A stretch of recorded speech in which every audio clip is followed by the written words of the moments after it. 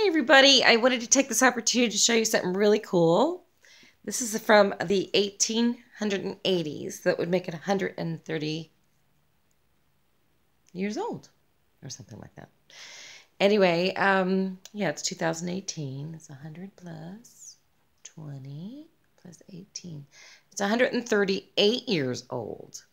So this is a genuine penny farthing it's spelled F A R T H I N G. Bike from the 1880s. It is original. It's crazy. I did try to ride this bike one time. Um, I did get up on it, but someone had to hold me. It's pretty interesting. It's got a teeny tiny wheel back there. And the wheel is actually made here of wood. I don't know if you can see that. Make it on this side. It's made with um, wood on the inside and wrought iron on the out. And most of these, when you find them, if you can find them, they do not have the spokes on them. This one has the spokes, and you have to jump up on the to these little um, spinning pedals. This one just happens to be on a stand, but it is operable, and it has the steering wheel here that turns the front end of it. And this is the original 1880s bike.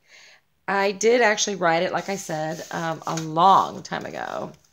And, um, oh, the seat actually moves. That's interesting. I never knew that. The seat adjusts forward and backwards.